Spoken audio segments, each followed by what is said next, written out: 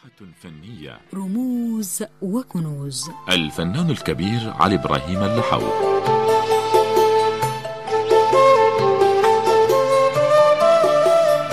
هو من ملوك الطرب في السودان. مبدعنا الكبير من الأصوات الفنية الإبداعية المتميزة التي شهدتها الساحة الفنية في السودان.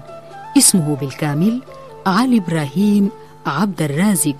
أما الاسم اللحو فهو تنسيب لاسم اللحو الذي ورد بأغنية أبعاجات اللحو التي تمثل مرثية لعمدة كلي والتي سجلها للإذاعة بالستينات. قصة هذا المبدع هي قصة البيئة والوسط المحيط حيث نشأ بأرض الجعليين بشندي والتي تمثل بيئة مترعة بأغاني الحماسة. عليه تميز بأداء أغنيات الحماسة والمترعة بقيم الشجاعة والبطولة والجسارة. من الأغنيات التي غناها فناننا القدير الأغنيات السمحة نوارة فريقنا. السمحة نوارة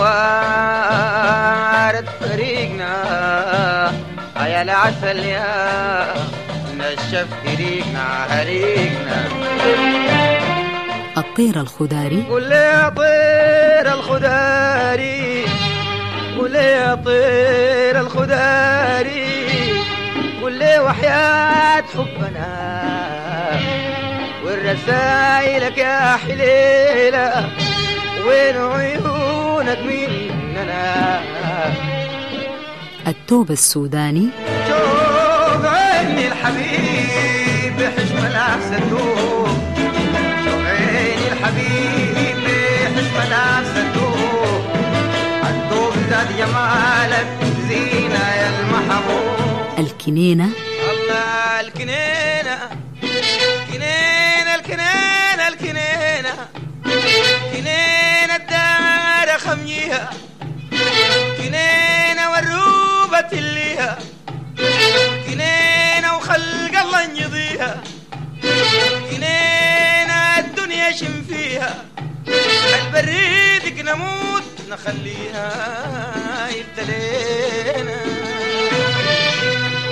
كما غنى من أغنيات الحماس الأغنيات أبعاجات اللحو. حاجات اللحو والدين ذم والدر. جات الألوف لا يضل ولا بالدور. حويت يا بغادي دربه ضريا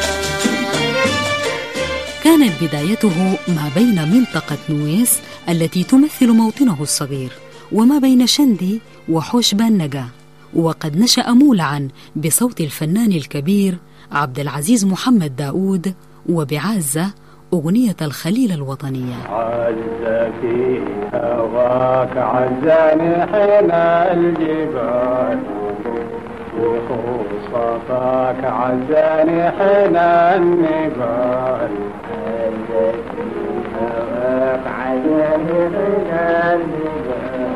علي إبراهيم اللحو من الأصوات القوية التي شهدتها الساحة الفنية حيث يمتاز بقوة الصوت المعبر وصوته لم يزعزعه الزمن والذي ما خط خطوطه وأحافيره على صوت فناننا المبدع.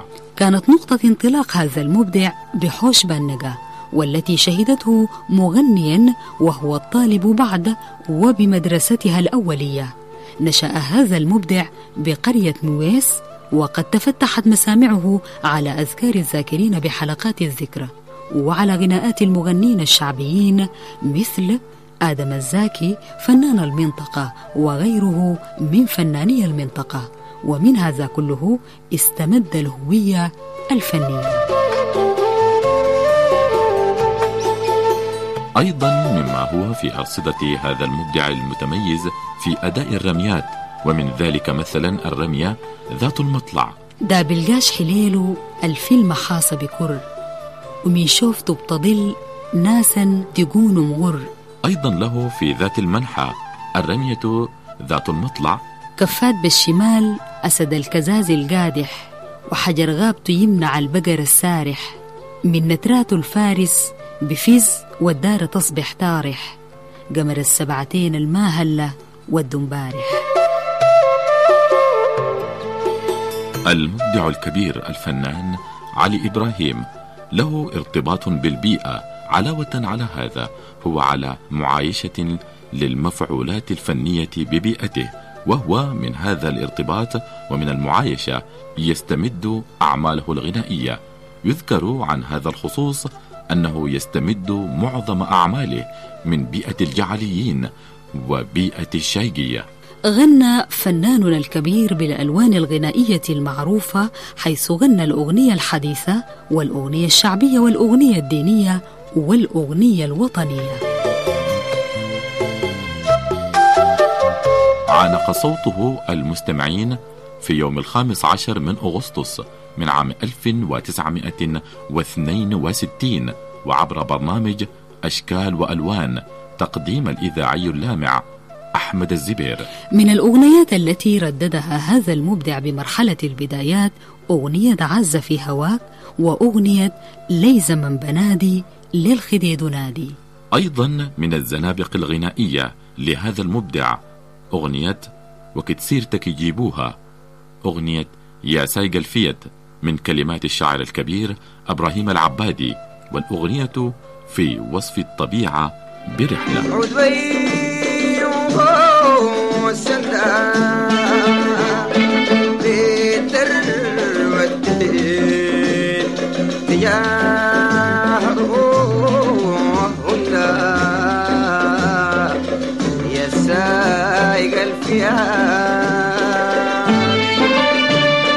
الفنان الكبير علي إبراهيم اللحو هرم من إهرامات الغناء السوداني وهو بحق وحقيق من ملوك الطرب في السودان كما أنه من رموز الأغنية السودانية في السودان وهو كنز من كنوز السودان وأهله وشأنه في هذا شأن كل رواد الغناء في السودان.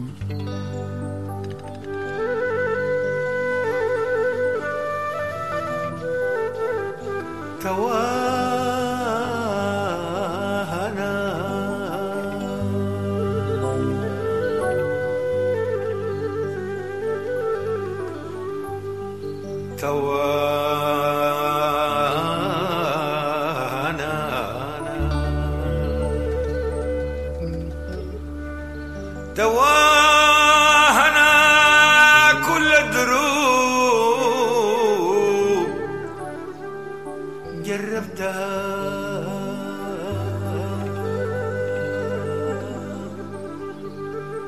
وسنين.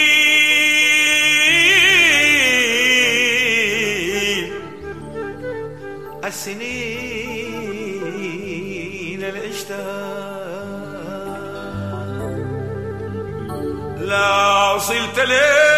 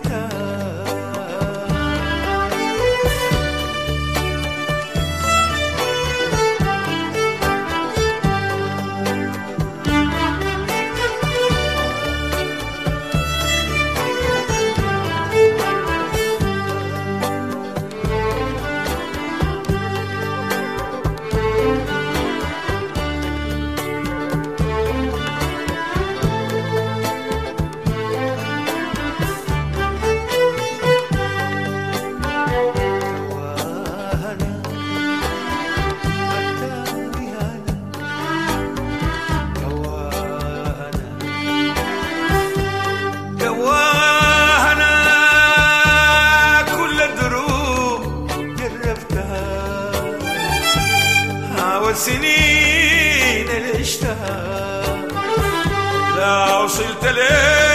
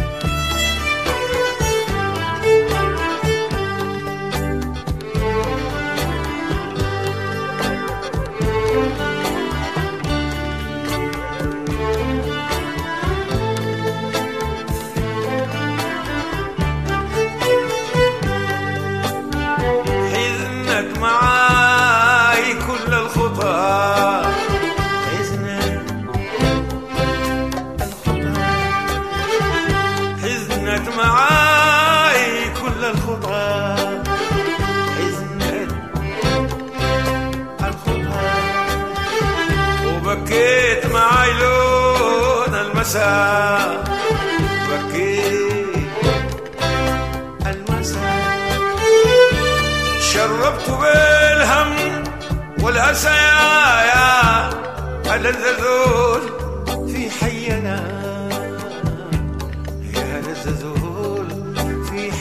now.